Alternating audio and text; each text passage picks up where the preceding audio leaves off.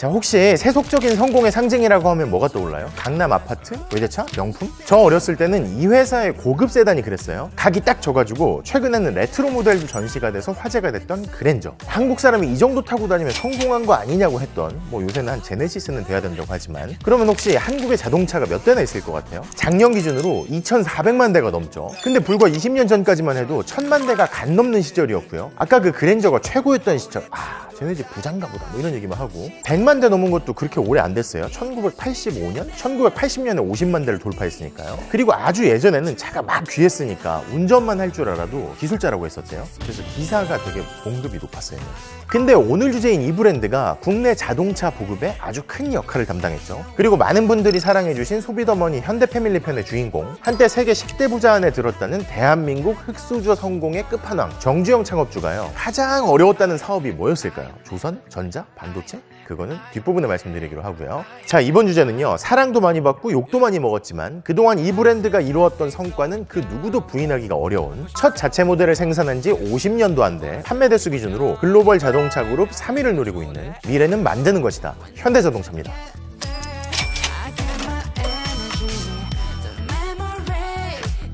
자, 현대차는 할 얘기가 너무 많아서 두 편에 걸쳐서 전해드리려고 해요. 추격의 시대와 추월의 시대. 다른 말로 하면 정주영, 정세영의 시대와 정몽구, 정의선의 시대. 아무튼 앞서 말씀드린 정주영 창업주가 가장 어려웠다는 사업. 워낙 일군 기업이 많죠. 뭐 맨땅에서 맨주먹으로 시작해서 조선, 건설, 전자, 유통 등등. 근데 그 중에서도 자동차 사업이 가장 어려웠다고 해요. 지금 생각해도 출발부터 오늘까지 오는 동안 자동차만큼 많은 시련을 겪었던 파란만장한 역정을 거쳤던 사업은 없었다. 자, 이렇게 대단 대단한 인물이 왜 그렇게 말했는지 현대차의 시작으로 가보겠습니다. 정주영 창업주, 가난한 집 6남 2녀 중 장남으로 태어나서요. 보다 나은 삶을 찾아서 시골에서 도시로 가출하고 또 가출하다 잡혀오고 또 가출하고 또 가출하고 막노동 등등 닥치는 대로 일을 하다가 쌀가게에서 일하고 결국 그러다가 돈을 모아서 1940년에 자동차 수리 공장을 인수했다는 얘기 기억나시죠? 아도 서비스. 뭐 짧게 설명드리자면 이 공장이 처음부터 잘 되는 것 같았는데 시작한 지 한 20일쯤 만에 공장에 불이 나가지고 막 공장이 다 타고 맡겨둔 차도 다 타고 이걸 당장 물어줘야 되니까 막 거액의 빚을 지고 그래서 망하는가 싶었는데 사업 시작할 때 돈을 빌려준 어른을 찾아가서 다시 사정을 하고.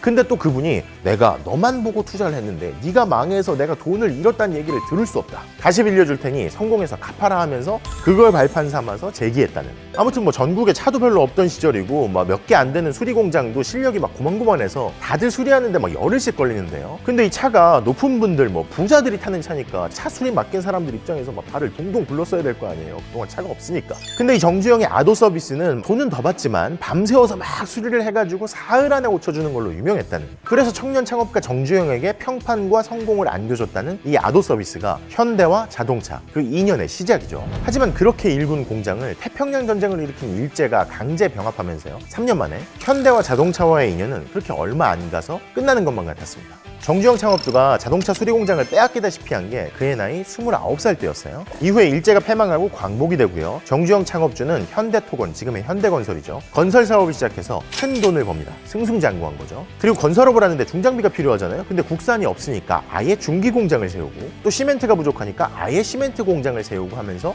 도전, 도전, 도전.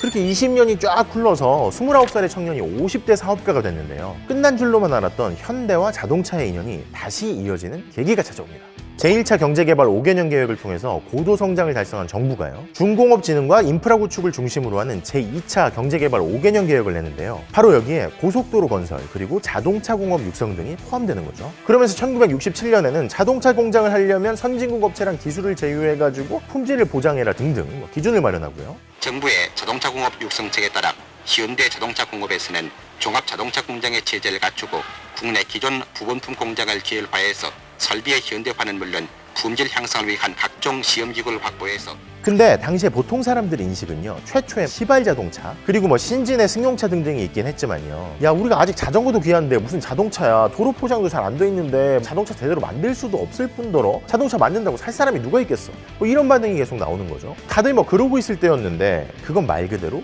보통 사람들 얘기였죠. 정주영은 달랐습니다 훗날 회고하길요. 어떤 사람은 우리나라의 자동차 산업이 발전하려면 먼저 국내 자동차 시장이 보다 커져야 한다고 말했다. 그렇다면 조선업이, 건설업이 국내 시장 덕에 발전했단 말인가? 그렇지 않다. 그때 당시에 국내 자동차가 2만 대가 좀 넘지만 세계은행에서도 뭐 한국 경제 발전이 계속되면 70년대 초반에 6만 대가 넘어간다고 했다. 이거 내가 해보겠다 싶었던 거겠죠. 근데 아까 왜 1967년에 정부가 기준을 마련하면서 자동차 제조 공장을 하려면 선진국업체랑 기술 제휴를 해야 된다. 뭐 이런 조건을 마련했다고 했잖아요. 바로 그 1년 전쯤에 미국의 양대 자동차 업체였죠. 포드사 사람들이 한국에 들어와가지고 국내 시장을 조사하고 갔대. 그리고 뭐 영세하지만 당시 한국에 있던 자동차 관련 업체들을 쭉 만나고 갔고요. 근데 현대는 당연히 안 만나고 가고. 왜냐? 건설업체잖아. 그쵸? 당연하잖아. 근데 이 얘기가 누구 귀에 들어갔을까요? 맞습니다. 정주영 그럼 이분이 어떤 반응을 보였겠어요? 곧바로 미국에 나가 있던 동생한테 전보를 칩니다. 기록에 따라서 약간 차이가 있지만요. 훗날 미스터 포니라고 불리는 정주영 현대창업주의 셋째 동생이죠. 정세영 현대산업개발 명예회장, 지금 HDC 그룹 정몽규 회장의 아버지죠. 이분은 그렇게 회상합니다. 현대건설 상무 시절에 시멘트 회사 관련된 일로 미국에 출장을 가 있었는데 갑자기 형님한테 전보가 왔대. 전보의 내용이 이런 거였대요. 당장 디트로이트로 가서 포드 관계자들을 만나라. 포드가 한국에 왔을 때 우리가 못 만났는데 우리가 너희 사업에 관심이 있다고 전해라. 근데 이 13살 차이가 나는 큰형님이 현대 창업주이기도 했지만요. 이 큰형이 돈 벌어서 집안을 일으키고 자기를 포함한 동생들 교육도 시키고 대학 갈 때 이 동생이 고려대 원서를 썼는데 합격을 할까봐 걱정을 하고 있으니까 형님이 와서 그랬대요. 야 인마 나도 고려대 들어갔는데 네가 왜 못 가? 근데 이 큰형님이 사실 초등학교밖에 못 나오셨는데 이게 무슨 얘기일까 하고 의아해하니까 야 내가 막노동할 때 고려대 건물도 지었는데 네가 왜 못 들어가? 뭐 이런 의미였다고 하죠. 아무튼 그렇게 성공해서 자기 공부시켜주고 미국 유학까지 보내준 형님의 명령이 떨어지니까요. 곧장 포드사로 날아 가서 사정을 설명하고 긍정적인 반응을 얻었대요. 그래가지고 뭐 포드에서 또 와가지고 한국에서 정주영 회장을 만났는데 정주영 회장이 젊었을 때 수리 공장을 해봤잖아. 엔진, 변속기, 제동장치 등등에서 뭐 자동차 관련된 부품 얘기를 막 계속 하는 거지. 막 두 시간 동안. 그러니까 포드가 보기에 어떻겠어요? 어, 이 사람 자동차 전문가인가 막 싶었겠죠. 그리고 또 막 협상이 시작되니까 막 영어 잘했던 둘째 형님이 정인영 한라그룹 명예회장이죠. 기막히게 설명하면서 막 형제들이 막 적극적으로 나선 거죠. 그렇게 온 집안이 매달린 끝에요. 1967년 현대는 현대자동차 주식 회사를 세우고요. 원래는 영어 잘하는 동생들이 현대 모타 주식회사라고 하자고 했었던 건데 형님이 야 한국에다 팔 건데 무슨 현대 모터냐 일단은 현대 자동차라고 하자. 그래서 현대 자동차가 되고 그 이듬해 포드사와 자동차 조립 계약을 체결합니다. 2년이 끝난 줄로만 알았는데 아도 서비스 수리 공장을 접은 지 20년 넘게 흘러서 다시 자동차와 인연이 맺어진 거죠. 그리고 아까 그 고대 나온 동생이 자동차 사장을 맡습니다. 자, 근데 이 정도 되면 일이 잘 풀릴 것 같잖아요, 그죠? 근데 그때부터 첩첩산중이었습니다. 일단 공장 부지를 마련하려고 울산에 갔었는데 왜 울산이냐면 당시에 자동차 공업 지역이기도 했지만 대통령 비서실장인가가 울산이 고향이었대 그래갖고 약간 해달라고 막 압력도 넣고. 근데 그 울산에 갔는데 땅을 사들이려고 하니까 공장이 들어온다 하니까 막 땅값이 막 오르는 거야. 그리고 기껏 어렵게 땅을 샀는데도 주민들이 막 반대하고. 근데 반대하는 이유가 막 그런 거예요. 옛날이니까. 아 우리의 귀한 우물이 있어요. 마을을 지키는 수백 년 된 나무가 있는데 이걸 베면 안 됩니다. 영험한 신당이 있다. 이유들이 막 이런 거예요? 뭐 그럴 수 있죠. 그래서 막 세 배 넘게 땅값을 올려가지고 땅을 사들이고 막 신당은 옮겨주고 나무 벨 때는 무당을 불러서 막 굿도 해주고 베고. 근데 이렇게 공장을 짓는다고 해도 또 가동하려면 사람이 필요하잖아요. 그죠? 근데 당시에 자동차 공업을 배운 인재가 없을 거 아니에요. 그래서 일단 정주영 회장이 현대건설에서 똘똘한 사람들을 보내는 거지. 자기 잘 나가고 있는데 건설회사도 크고 있고. 가라 그러면 어떻겠어요? 내가 막 지방에 가가지고 열심히 공부해가지고 서울 로 왔는데 갑자기 누구 불러놓고 이러는 거지. 울산으로 가. 그냥 한마디였다 한마디. 근데 이 건설회사가 잘 나가는데 자동차 공장 미래도 알 수 없는데 가고 싶었겠어요? 그래서 막 며칠 막 미적거리는 거지. 근데 또 마주쳐. 그러면 정주영 회장이 이사했어? 그러다가 또 며칠 있다 또 마주치는 거지. 그러면 또 한마디 하는 거예요 아직 이사 안 했어?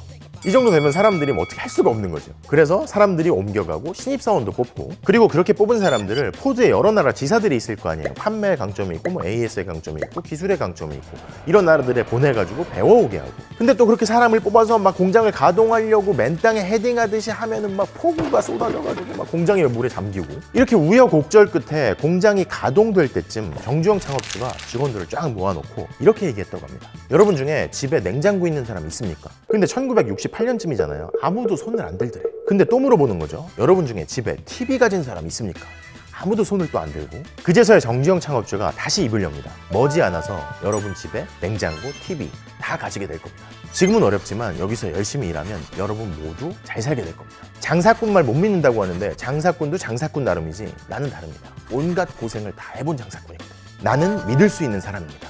그리고 나중에 그 말이 현실이 됐는지는 여러분 모두 알고 계시겠죠? 아무튼 그렇게 해서 공장을 마련하고 포드의 영국형 모델 코티나를 조립하기로 결정을 하고요. 부품을 들여와서 1968년 11월에 첫 시제품 자동차를 만들었대요. 엄청 빠른 거죠. 회사 세우고 1년도 안 돼서 첫 차가 나온 거니까. 포드 본사 사람들은 막 놀라고 그렇게 트럭도 만들고 버스도 만들고 그렇게 해서 현대차는 시제품을 만든 이듬해 1년 동안에요. 코티나 무려 5,500여 대를 비롯해서 7,800대 넘는 차량을 생산해냅니다. 아무리 이게 조립 공장에 불과하다지만 회사를 세운 지 불과 2년 만에요. 이렇게 거침이 없던 현대 자동차 사업이 순식간에 선두업체를 따라잡을 것만 같았죠. 그런데 위기가 이곳저곳에서 발생하기 시작했어요. 일단 선진국의 포장된 도로를 주로 달리게 만들어진 코티나 차에서 문제가 발생하기 시작하는 거예요. 당시 한국에 포장 안 된 도로가 많으니까 막 덜컹덜컹 가다가 차가 막 고장나는 거죠. 근데 현대가 최초로 자동차 할부 판매를 도입했었거든요. 생각해봐요. 차가 고장났어. 근데 할부금을 안 낸 상태잖아, 고객들이. 배째라고 막 고객들이 막 들어 눕는 거죠. 돈 못 낸다. 그래서 막 실제로 차 할부금이 막 안 들어오고 현대차의 부담이 가중되고 게다가 오일 쇼크까지 겹치면서요. 69년에 아까 코티나 5,500대 정도 팔았다고 했잖아요. 그러던 게 1970년에는 2,000대 이하로 떨어졌고요. 1971년에는 아예 안 팔릴 정도였대요. 은행비 쓰고 사채 쓰는데도 어려워서 현대차는 파산 직전까지 몰리고 이때 정주영 창업주의 동생 정세영 사장이 정말 죽고 싶더래. 근데 그런 동생한테 정주영 창업주가 무슨 말을 했을까요? 야 처음엔 좀잘 되는가 싶더니 자동차 회사 경영 배우는 게 무슨 수업료가 그렇게 비싸? 같이 좌절하지 않는 거죠. 그러면서 막내 동생을 부사장으로 보내서 못 받은 할부금을 받아오라고 합니다. 이 막내 동생이 마음을 굳게 먹고 할부금 안 내려는 막 거물 정치인한테까지 막 돈을 받아오는 수완을 발휘했는데 그가 바로 지난해 별세한 KCC 그룹의 정상영 회장이었죠. 그렇게 사태를 수습하던 현대차는요 1972년 대통령의 사채 동결 조치가 포함된 긴급 명령을 통해서 이 위기를 벗어납니다. 기업이 빌려 쓴 사채 당장 안 갚아도 된다는 내용이었으니까요. 이번 대통령 긴급 명령 15건은 사채에 허덕이는 기업을 도와 기업 활동을 촉진시켜 경기를 회복시키려는 조치로서 근데 그 사이에 현대차가 그냥 이렇게 위기를 벗어나는 데만 급급했던 게 아니라 단순 조립 공장에서 벗어나서 자체 생산을 늘려보자 이런 생각을 했대요. 그러면서 포드랑 합작 회사를 만들 준비를 하고요. 근데 이 포드가 막 튕기고 무리한 조건을 내세우고 결국 뭐 안 할 것 같으면서 막 시간만 질질 끄는 것 같더래. 아니 뭐 그럴 수 있잖아. 직접 진출하고 싶기도 하고 약간 뭐 중국과의 관계가 있어가지고 한국은 약간 이렇게 제껴놓는 것 같기도 하고 그렇게 2년쯤을 끌려다닐 무렵 이 정씨 형제들이 중대 결심을 합니다. 당연히 아쉬운 입장이었을 텐데 공룡 포드한테 작별을 고하죠. 당시에 시간만 끄는 포드 협상팀한테 정주영 회장이 했단 얘기가 충격적이에요. 당신네들은 쫌팽이야. 당신네들하고는 안 해. 현대를 걱정하지 마라. 나를 못 믿어? 우리는 우리 방식대로 한다. We will go it alone. 야, 이건 멋있긴 한데 사실 아쉬운 게 현대차 쪽이잖아요, 그렇죠? 독자 기술도 없잖아. 근데 이미 뭐 엎질러진 물이지. 근데 설상가상으로 미국 1위 업체 GM이 한국 1위 업체랑 손을 잡고 한국에 진출하기로 하죠. 근데 어떻게 이미 We will go it alone 했잖아. 근데 이 사람들이 다른 사람들이 아니라 현대잖아요, 그죠? 어떤 반응을 보이냐면 우리가 외국 모델 말고 고유 모델을 만들자. 1972년 말에 결심을 합니다. 그러면서 한술 더 떠서 1년 만에 준비를 마치고 만들기 시작한다. 임직원들 입장에서 어땠겠어요? 막 난리가 나는 거지. 아니 무슨 조립 도면도 제대로 못 그리는데 완전히 망하려고요? 그리고 아까 GM이 한국 업체랑 합작 회사를 만들었다고 했잖아요. 그 대표가 외국인인데 그런 얘기를 했었대요. 외국어로 했겠지. 근데 뭐 이런 내용이래. Hyundai Mandelmian ni Sunny Jang Ayul Jitinda Sechulomian Dalian Sun Edo Jang Ayul Jitinda. 그래도 이 현대 창업 형제들은 한국 경제가 계속 발전하면 자동차 수요가 생길 것 같더래. 그리고 자동차 디자이너를 찾아서 이탈리아로 떠납니다. 근데 이탈리아에 도착해서 여러 설계 회사를 만나서 디자인 견적을 뽑는데 이게 엄청 비싼 거예요. 막 수십만 달러를 부르는 거죠. 70년대 초반에 강남 40평대 아파트 분양가가 600만 원이 안 될 때인데요. 근데 당시에 다른 디자이너들이 수십만 달러를 부르는 와중에 폭스바겐 골프 등을 디자인해서 잘 나가던 30대 중반에 조르제토 주지아로를 만났는데 120만 달러를 부르더래. 아파트가 아까 그 가격이고 금이 한 돈이 12달러 할 때예요. 근데 120만 달러를 달라는 거지. 120만 달러 11, 한 돈에 12달러. 금으로 된 집을 달라는 거예요. 다름없이 그죠? 근데 왠지 이 사람을 잡고 싶더래요. 골프 같은 거 디자인도 했고 막 젊고 상승세고 아 뭔가 새로운 더 좋은 걸 해낼 것 같다. 그래서 저액을 주고 계약을 합니다. 그러면서 디자인을 받는 것과 동시에 현대차 직원들 교육도 부탁하고 그리고 영국 자동차 회사에서 잘 나가다가 조직 내 다툼으로 회사를 그만둔 조지 턴불경을 스카우트하고요. 왜냐면 디자인만 있다고 되는 게 아니니까 생산 운영 관리 경험자가 필요한 거니까요. 이걸 모셔온 거죠. 근데 이 조지 턴불경이 잘 나가다가 영국에서 한국으로 가는 거 망설였을 거 아니에요. 그러니까 막 first class 티켓을 불러다가 막 극진히 대접하고 참고로 조지 턴불경 부인이 이렇게 남편이 상의했을 거 아니에요. 한국의 현대차라는 얘기를 막 이렇게 막 하는 거지. 그러니까 이 부인이 그랬대 당시에 한국이 어디 있는 건데 이렇게 물어보는 게 아니라 한국이 뭔데? What is Korea? 뭐, 뭐 이랬겠지? 이렇게 전문가들을 스카우트하고 엔진 기술이 필요한데 미국 유럽 회사들한테 모두 까이는 거예요. 결국 우여곡절 끝에 일본 미쓰비시에서 도입하기로 하고요. 이때도 뭐 현대 직원들 일본 미쓰비시로 보내가지고 교육받게 했고요. 이 해외로 교육받으러 간 사람들이 매일 야근하면서 엄청 열심히 일했대. 선진국에 뭔가 있으니까. 지금 이렇게 얘기하는 사람들이 있죠. 아 그거 뭐 선진국 기술들 뭐 여기저기서 갖고 온 거 짜깁게 했네. 지금은 이렇게 쉽게 얘기할 수 있지만요. 한국의 자동차 독자 모델 생산을 상상하기도 어려운 시절이니까 그만 큼 스스로 일어나는데 절실했고 선진국 기업들 추격에 절실했던 면이 있던 거겠죠.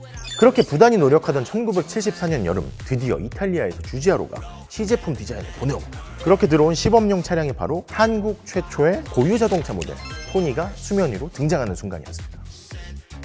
자 이렇게 시범용으로 디자인해온 차 이름을 공모했는데 제일 많이 공모된 이름이 뭐였을까요? 포니였을까요? 사람들이 제일 많이 응모한 이름은 그래서 대학생 알바들을 붙여가지고 투표를 붙였대. 근데 조랑말을 뜻하는 포니가 제일 예쁘다고 뽑혔다고 하죠.